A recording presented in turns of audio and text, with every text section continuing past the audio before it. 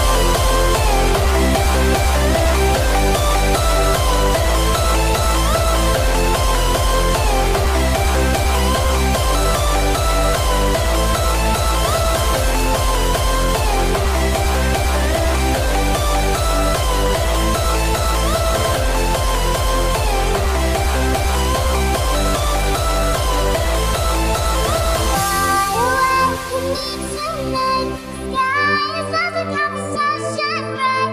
Don't you know?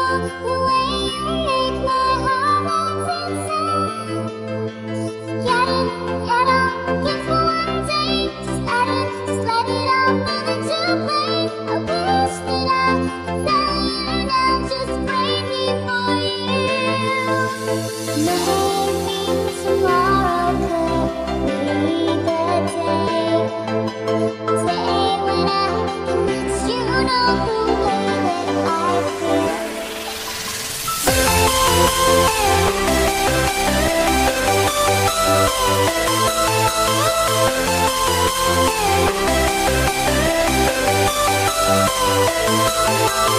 you.